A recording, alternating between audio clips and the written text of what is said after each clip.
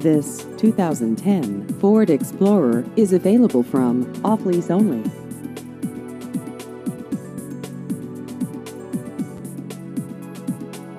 This vehicle has just over 44,000 miles.